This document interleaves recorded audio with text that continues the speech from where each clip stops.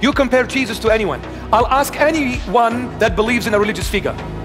The ultimate, any religious figure that was able to achieve, any philosophical figure, any political figure, the best they could have achieved was to change a bad person into a good person. Maybe they brought some good values, good morals, good ideas, whatever it is. They did the ultimate. They changed a bad person into a good person.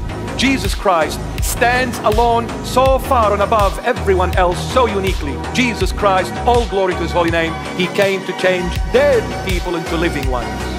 No one ever did that said, if you believe in my word, even if you die, you shall live. But if you eat my body and drink of my blood, you will live in me forever. No one dared to claim this statement. Neither Muhammad, nor Buddha, nor any religious figure, or any philosophical figure. Why? Because they all realize they are nothing but a piece of dust. One day they were born, the next day they're gonna die. Someone who has no life in him cannot give it. Only Jesus said it because he is the source of life.